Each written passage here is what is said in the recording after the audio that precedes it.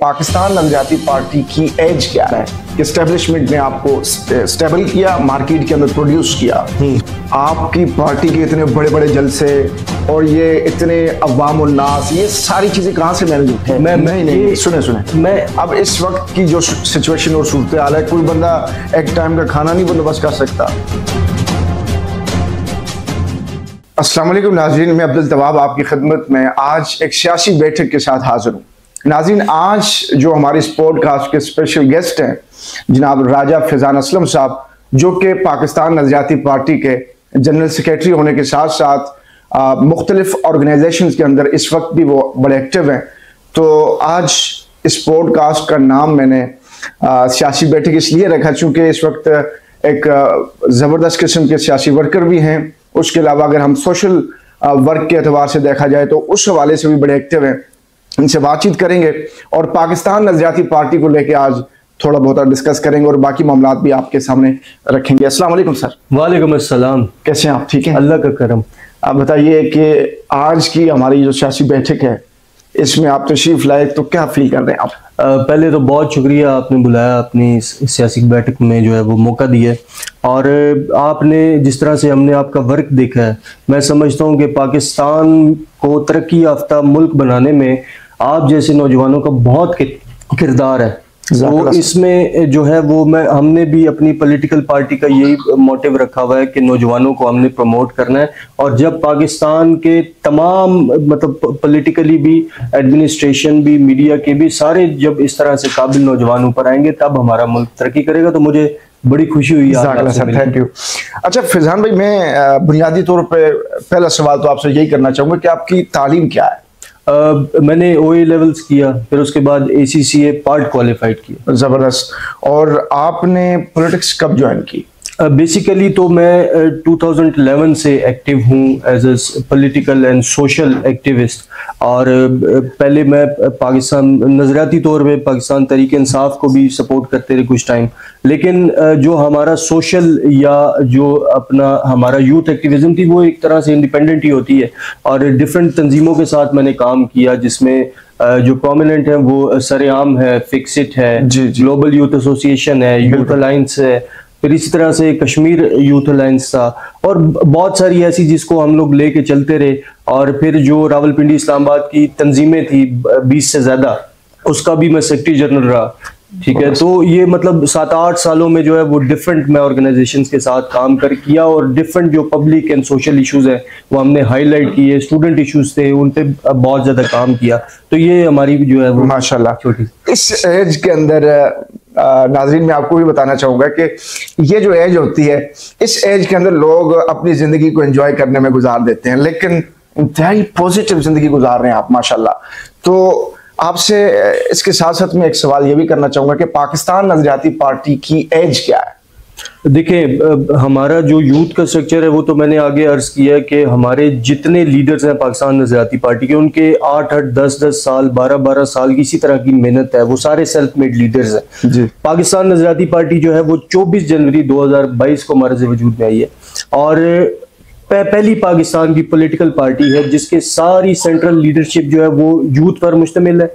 और दूसरा कि इस पार्टी में आपको कोई जो है वो बडेरा नज़र नहीं आएगा। अमली तौर पे हमने ये जो हम नारा लगाते थे ना कि हम यूथ को आगे लेके आ रहे हैं तो इसमें आपको अमली तौर पे नज़र आएगा कि हमने यूथ को रिप्रेजेंटेशन दी है और अभी जो इलेक्शन होने जा रहा है उसमें भी हमने अनाउंस किया है अपना जो नॉमिनेशन फॉर्म है कि 70 परसेंट हम जो टिकट्स हैं वो हम यूथ को देंगे। तो इसमें मैं समझता हूँ कि पाकिस्तान में एक अपने तर्ज की ये वाइड जमात है। कि जिसमें यूथ की रिप्रेजेंटेशन है हमने एक्चुअली उनको जिम्मेदारियाँ दे के उन्हें सामने लाया। अच्छा यहाँ पे एक चीज़ जो मैं देखता हूँ जाती एतबार से आपकी पार्टी के ऊपर एक बहुत बड़ा इल्ज़ाम है। आपकी पार्टी के बारे में ये कहा जाता है कि स्टेब्लिशमेंट ने इनको स्टेबल किया हुआ है। स्टेब्लिशमेंट ने इनको प्रोड्यूस किया मार्केट के अंदर। तो ये जो इतने बड़े बड़े इल्ज़ाम लगाए जाते हैं तो इसके बावजूद आप लोग मार्केट में काम करते हैं फेस करते हैं लोगों को तो इस बारे में आपकी क्या राय है? देखिए उन दोस्तों से गिला भी नहीं है कि जो ये बात करते हैं क्योंकि उन्हें इंफॉर्मेशन नहीं होती। ठीक है। और अभी एक गैप जो पैदा हुआ आपके एक पॉलिटिकल पार्टी डाउन हुई है जहरी सी बात है कि उसका जो वर्कर था वो हमारी तरफ़ ऑटोमेटिकली अट्रैक्ट होना शुरू हुआ। लेकिन जो लोग ये बात करते हैं उन्हें ये आइडिया नहीं है कि हमारी स्ट्रगल क्या है। सही। हम जब ट्रैवल करते थे और इवन अभी भी साल दो साल पहले तक हम लोग दो दो तीन तीन हज़ार रुपया डाल के फ्यूल का वो पूरा करके हम लोग पाँच बंदे यहाँ से लाहौर जा रहे हैं। यहाँ से फैसलाबाद जा रहे हैं अपने कन्वेंशन के लिए। इस तरीके से हमने पार्टी बनाई है और हमने चलाई है। नहीं नहीं सुने सुने। मैं अब इस वक्त की जो सिचुएशन और सूरत हाल है कोई बंदा एक टाइम का खाना नहीं बंदोबस्त कर सकता। आपकी पार्टी के इतने बड़े बड़े जलसे और ये इतने अवाम उन्नास ये सारी चीज़ें कहाँ से मैनेज होती हैं? मैं मैं आपको अर्ज़ करता हूँ देखें हमारी मैंने अर्ज़ किया था कि हमारी जो स्टेट यूथ पार्लियामेंट है उसको तकरीबन छः से सात साल पहले हमने रजिस्टर करवाई। हमने उस टाइम से अपनी स्टूडेंट पॉलिटिक्स के दौरान ही दौरे शुरू कर दिए थे जब हम खुद यूनिवर्सिटीज के स्टूडेंट्स थे। हम अपनी पॉकेट मनी से मैनेज करके डेफो पे सफ़र करके हायर्स पे सफ़र करके हम यहाँ से दूसरे जो शहर है वहाँ पे ट्रैवल करते थे। हमने अपना स्ट्रक्चर मज़बूत किया। उस टाइम हमारा, हमारे जेहन में नहीं था कि हमने आगे जाके पॉलिटिकल पार्टी बनानी है कुछ, लेकिन हमारा जो एक वो प्रेशर ग्रुप था, हमने कॉज के उस पर बनाई थी अपनी जो यूथ ऑर्गेनाइजेशन है तो हमारा पूरे मुल्क में स्ट्रक्चर था। इसी वजह से जब हमने पार्टी रजिस्टर की तो फ़ौरन हमारे जो वर्कर्स कन्वेंशन है, वो 2022 में जनवरी के बाद हमारे वो स्टार्ट हो गए। हम पूरे मुल्क में गए, वो तो जो काम, हमारा पहले एक कन्वेंशन होता था एसओपी का, वही पार्टी कन्वेंशन होना शुरू हो गया। तो हमारा तो ये सात आठ सालों से चल रहा है। अब इस पे आगे ये इल्ज़ाम लगा देना कि इन्हें कोई सपोर्ट कर रहा है। मुझ, अगर ये ऐसे ही होता तो हमें जियो पे ऑन एयर लिए जा रहा होता, जिन्हें इस तरीके से जो है वो इंट्रोड्यूस कराया जाता है या लॉन्च किया जाता है। उनके पास सौ वर्कर नहीं होता लेकिन सौ मीडिया के जो मेन स्ट्रीम मीडिया के माइक पड़े होते लेकिन फिर भी ये जो ज़ाहिर सी बात है ये सारी एक्टिविटी जो हो रही है इसके पीछे कहीं ना कहीं फंड तो है ना? बिल्कुल है। देखिए ये फंड कहाँ मैं मैं मैं अभी आपको बताता हूँ। हमारा लियाकत बाग का जलसा हुआ। जी। और पूरे रावलपिंडी शहर में एडवर्टाइजमेंट भी हुई। हमारा जो ओवरसीज चैप्टर है वो बहुत स्ट्रांग है। पार्टीज़ को अलाउ होता है। सारी पार्टीज़ के जितने ओवरसीज पाकिस्तानीज हैं वो उनको वो देते हैं। जिनको नहीं देते वो उन्हें पसंद नहीं करते होंगे। हमें बहुत सपोर्ट करते हैं। हमने जिस जिसके जिम्मे लगाया उसने अपनी तस्वीर लगाने के साथ साथ हज़ार हज़ार बैनर पिंडी शहर में लगाया। हमने किसी से एक रुपया भी कैश में नहीं लिया। उन्होंने खुद से जलसा अरेंज किया। अच्छा ये एक चीज़ जी। मैं मादरत के साथ आपकी बात भी काट रहा हूँ कि मैंने एक चीज़ देखी कि इमरान खान अपनी जगह पे बड़ा अच्छा एक्टिव था। अब 25 साल उसने स्ट्रगल की उसके बाद इस तरीके से यूथ उसके साथ जुड़ गई। हम्म। लेकिन उसके बाद जो मैं देख रहा हूँ आप लोगों के साथ जिस तरह यूथ मोहब्बत का इजहार कर रही है जिस तरीके से आपके साथ जुड़ रही है बाहिर नेगेटिव चीज़ें भी जहन में आती हैं बाज दफ़ा। लेकिन पॉजिटिविटी जो चीज़ मैं पॉजिटिव चीज़ देख रहा हूँ वो ये है कि लोग आपके साथ बहुत ज़्यादा जुड़ रहे हैं। हम्म। तो जुड़ने की खास वजह क्या हो सकती है? देखें अ, हम ना बिरयानी खिलाते हैं ना कीमे वाला नान देते हैं लेकिन फिर भी लोग जुड़े क्या वजह हो सकती है? नज़रिया। हम लोगों ने अपना जितने भी पाकिस्तान के मसाइल थे उनका सोल्यूशन पेश किया है कौम के सामने। आप हमारे जलसे में आए लियाकत बाग में आप नहीं आ सके लेकिन नेक्स्ट में मैं आपको खुद दावत दूँगा। आप आएँगे हमने इस दफ़ा मीडिया को चैलेंज दिया था कि लोग जितने भी आए जितनी मीडिया वाले हैं जाके हर बंदे से सवाल करें कि आप आए क्यों हैं? कोई ये नहीं कहेगा कि ये मैं इस चौधरी के साथ था तो मैं आ गया या मुझे बिरयानी दी कि मैं आ गया मैं कीमे वाले नाम के पीछे आया हूँ या मैं पिंडी की सैर करने के लिए आया हूँ गाँव से। वो आए हैं नज़रिए के पीछे। हमने वहाँ पर अपना मंशूर पेश किया कि पाकिस्तान के कर्जे ऐसे उतरेंगे। पाकिस्तान का एजुकेशन सिस्टम ऐसे बेहतर होगा। पाकिस्तान के जो पुलिस है उसका निज़ाम है और इसी तरह जितने हमारे मसाइल हैं तमाम मसाइल का हमने कौम के सामने हल पेश किया और वो आपने देखा कि लोग वहाँ से जब गए तो अपने उन्होंने इलाकों में जाके दोबारा से खुद से कॉर्नर मीटिंग्स शुरू कर दी। हमने उन्हें इस मतलब एक नज़रिया दिया है एक प्लेटफॉर्म दिया है और एक आम आदमी का प्लेटफॉर्म है। हमारे जिन लोगों ने अप्लाई किया हमारी पहली जमात है जिसकी कोई टिकट की फ़ी नहीं। सही। ठीक है तो हम लोग तो प्लेटफॉर्म दे रहे हैं आप आए और इस पे काम करें। अब यहाँ से आगे अगर हम बात करते हैं कि पाकिस्तान को बनाने वाले बना के चले गए। हम्म। अब ऐसे कौन से किरदार हैं अब इस पाकिस्तान को जो बचाए हैं या पाकिस्तान को बचाने में जिन्होंने किरदार अदा किया? जैसे कि एक घर बना हुआ है। हम पाकिस्तान रियल स्टेट को ले लेते हैं जैसे कि पाकिस्तान रियल स्टेट के अंदर बड़ी बड़ी बिल्डिंग्स बनाई जाती हैं। उनकी मेंटेनेंस और उनकी मैनेजमेंट कंपनीज़ होती हैं जो उनको मैनेज करती हैं, उनको साफ़ सुथरा रखती हैं और बाकी मामला देखती हैं। तो बनाने वाले बना के चले जाते हैं डेवलपर्स ऐसे ही पाकिस्तान भी बनाया गया।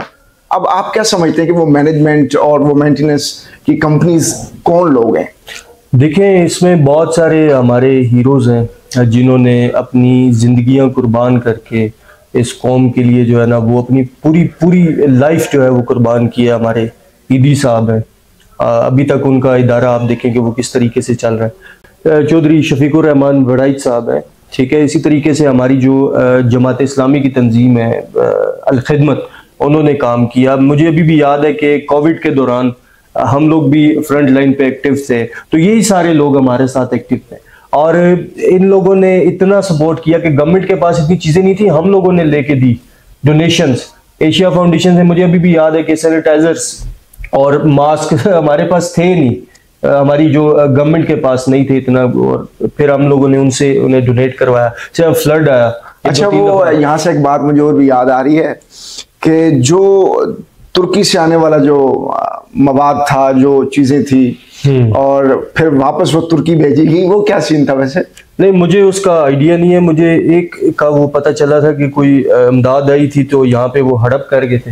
हड़प करने की बात तो चलो अलग थी। फिर उस वक्त वही था कि जब तुर्की के अंदर जलजला आया अच्छा। वही पैकिंग वही अच्छा वही वापस भेज दी वही वापस भेज दी बस वो यहाँ पे उन्होंने इस्तेमाल नहीं की होगी या उसमें से भी कुछ हड़प करके वापस भेजी ये तो हमारी बदकिस्मती है ना जी। अब लेकिन मैं खराज तसीम पेश करना चाहता हूँ।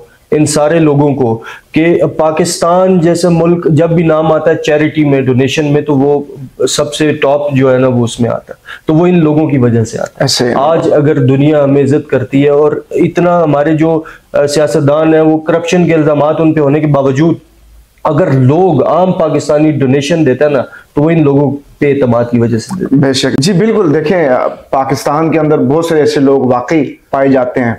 मैंने जैसे कि बहुत सारी जगहों पे मैंने तस्करा किया चौधरी शफीक रहमान वराज साहब का चौधरी शफीक रहमान वराज साहब का बल्कि पिछले प्रोग्राम एक के अंदर भी मैंने ये तस्करा किया था कि उन्होंने कई सस्ते बाज़ार कई फ्री उन्होंने दस्तरखान लगाए हुए हैं और कई उन्होंने तंदूर लगाए हुए सस्ते रोटी के। और इस तरह की खिदमत के जो काम है उन्होंने आ, मैं समझता हूँ अगर अब्दुल सत्तार ऐदी साहब के बाद जैसे कि आपने भी इजहार किया अपनी मोहब्बतों का अगर अब्दुल सत्तार ऐदी के बाद अगर कोई बंदा इस वक्त पाकिस्तान के अंदर जो खिदमत कर रहा है। अल्हम्दुलिल्लाह अल्हम्दुलिल्लाह मैं ऑनर की बात समझता हूँ कि एक दो बार उनकी मेरे साथ मुलाकातें भी हुई और इनशाला अन करीब आप हमारी स्क्रीन पे देखेंगे उन्हें। इनशाला तो सर बहुत बहुत शुक्रिया आपका आप हमारे पास तशरीफ़ लाए और हमारे ऑडियंस को क्या पैगाम देना चाहेंगे आप? देखिए मैं पाकिस्तान के तमाम नौजवानों को और बुज़ुर्गों को भी ये पैगाम देना चाहता हूँ कि हमने एक इनिशिएटिव लिया है। हम फ्रंट पर आए हैं। आपकी खातिर हमें जो स्टूडेंट पॉलिटिक्स में जो एक इज़्ज़त या मुकाम था, क्योंकि हर सियासी जमात के पास है आपको इज़्ज़त मिलती थी हमें। हर बंदा फूलों के हार पहनाता था। अगर हमने ये हार्ड स्टेप लिया और एक पॉलिटिकल पार्टी जो कि नौजवानों की वाद नुमाइंदा सियासी जमात है, जो पाकिस्तान के तमाम मसाइल का हल लेकर आई है, हमने उसका इनिशिएटिव लिया है तो अब आपका ये हक बनता है, फ़र्ज़ बनता है कि आप हमें सपोर्ट करें आउट ऑफ़ द वे जाके सपोर्ट करें, इन बरदरीों के चक्कर से अब खुदारा निकलें, इन बरदरीों के चक्कर में हमने पाकिस्तान को जो है ना, वो बहुत पीछे छोड़ दिया है, हमारे पास बरियानी के पैसे नहीं है हमारे पास करोड़ों रुपए लगाने के इलेक्शंस के नहीं है, लेकिन हमारा जो पैगाम है सोशल मीडिया के तवसत से डिजिटल मीडिया के तवसत से, इन जैसे भाइयों के तवसत से हम आप तक पहुँचाने की कोशिश कर रहे हैं और पाकिस्तान के तमाम मसाइल का हल आपके पास लेके आए हैं, हमारे उम्मीदवार भी आपके पास आएँगे घर घर दस्तक देंगे, पैगाम पहुंचाएँगे, बाकी अब ये आपने फैसला करना है कि उन्हीं रवायती सियासतदानों के हाथों लुटते रहना है कि जो आपको लूट के फिर बाहर जाएँगे फिर डील करके वापस आ जाएँगे या उन लोगों को सपोर्ट करना है जो आप लोगों के बीच में से हैं। पाकिस्तान हमेशा जिंदाबाद बहुत बहुत शुक्रिया sir thank you so much जजाकल्ला थैंक बहुत थैंक जी तो नाजिन इस वक्त मेरे साथ मौजूद थे इंतहाई मोहतरम और प्यारे भाई जनाब राजा फैजान असलम साहब से बातचीत की और आज की सियासी बैठक अल्हम्दुलिल्लाह, बहुत अच्छी रही। और नाजरीन, आपसे भी कहना चाहूँगा कि आप अपनी राय कमेंट बॉक्स में ज़रूर दीजिएगा। इस वक्त दीजिए इजाज़त अब्दुल तवाब को। इन फिर किसी नए चेहरे के साथ, किसी नए प्रोग्राम में दोबारा मुलाकात होती है। दीजिए इजाज़त। अल्लाह हाफिज़।